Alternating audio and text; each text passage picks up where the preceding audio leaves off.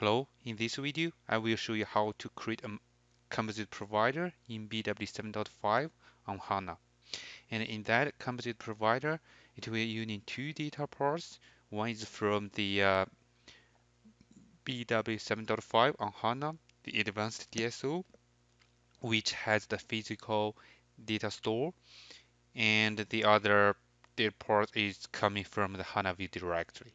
Okay, so we're gonna simulate a scenario to use the um, planning data in the BW and some uh, operational actual data coming from HANA directory. Okay, so as usual, before we start our um, um, modeling, we're gonna take a quick look about the uh, system we're gonna use in today's uh, session. So um, the BW on HANA, we have the um, latest um, BW 7.5 installed and the support package SP5 is pretty new okay? And for the underlying database for the HANA we have the HANA 2.0 installed. And the uh, operational system is uh, SUSE Linux as uh, server 12 SP2. So they are all very, very new, almost the latest version. All right, so now let's go to the BW modeling tool to create the advanced DSO and the composite provider. Okay, so actually I have already created the one with advanced DSO.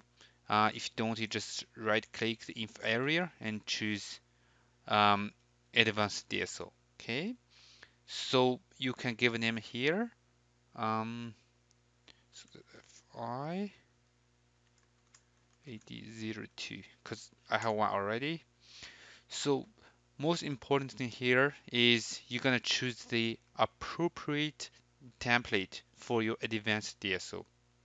You have you have different templates to choose. For example, if you want to create a cube for the planning, create a cube, or you can use the direct update DSO because going forward we're going to do the planning in the direct update DSO directly instead of the cube okay?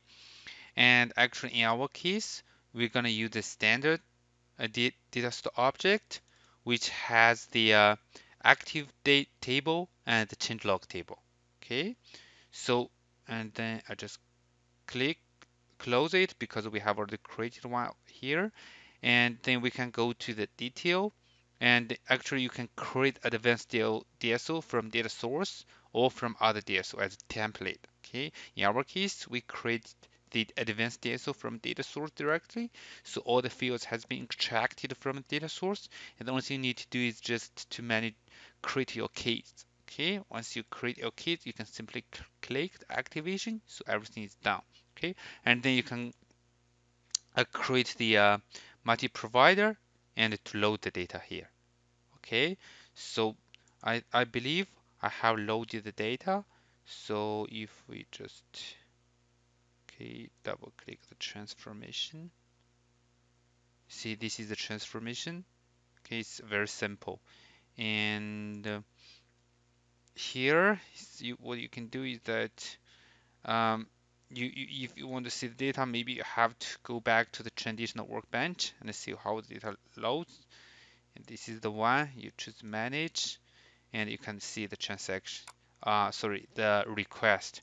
And right click, you're gonna see open the the window and to show your data in your active table. All right, so choose here and see this data we loaded. Okay, so go back. So we have complete our advanced DSO for the physical data for the planning, and then we need to uh, integrate the uh, um, HANA view into the composite provider. Okay, now let's go back to the BW modeling tool, and this time we're gonna right click and create a composite provider.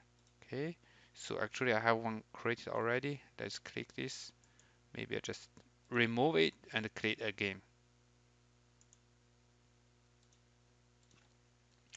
ZFI CP01 you can copy but in our case, we're going to create one from scratch. Here you're going to choose if you want to join the two uh, data parts or you want union. Actually, you can join more than two. Okay, in our case, we, we only have two. So we want union and you can choose start with the info provide or HANA view. And here we're going to start with our advanced DSO. We just created ZFI AD01. Okay, this is advanced DSO. right let's click this and you can add one more. The HANA view is CV spin. Oh, sorry.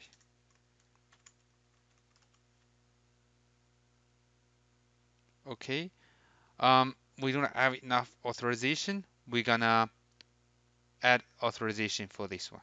Okay. Hello. Yeah, after we solve the uh, HANA view authorization, I mean the user to connect the uh, HANA database, um, now we we are able to add the uh, HANA view to the composite provider. As you can see here, we have the list of the view fields available to be assigned to our target. So we're going to simply drag and drop. So for calendar month, we just map to the zero calendar month. City is mapped to city and currency we're gonna map to the zero currency and here we're gonna create another um, key figure or mirror because uh, we are simulating the scenario we have the uh, planning data stored in SAP BW and the actual or spend data from the HANA view okay? So this is our target. So here we can assign a uh, info object instead of the using the uh, field name. So we're gonna use zero amount okay? So we choose the direct usage or associate object by name and now we are almost done with our composite provider with the two parts provider. One is from the advanced DSO in SAP BW and the other is from the HANA directly okay? So this is output here. Um, you can maintain and uh, the uh, the detailed setting for the um, output targets. And also I think this is info object because we just uh, want to leverage all the master data defined in SAP BW system okay so now let's activate composite provider so um, we may have a problem a conversion problem possible for source field calendar month to the zero calendar month. Let's go back and check. Okay. Yeah, I think, okay.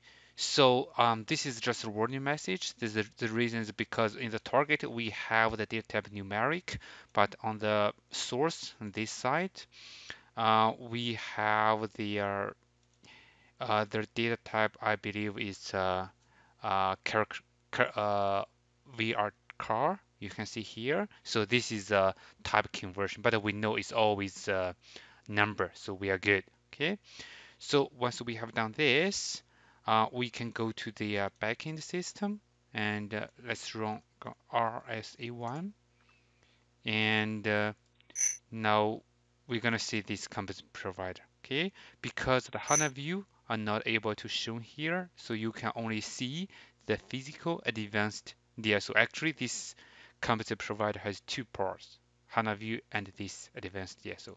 So we right click, choose display data, and we choose the fields we want to display. Now if we click, click OK, we're gonna see all the data, okay? So this is the info provider, uh, the which contains data, and also I believe you have their HANA view. Let's go back and enlarge this records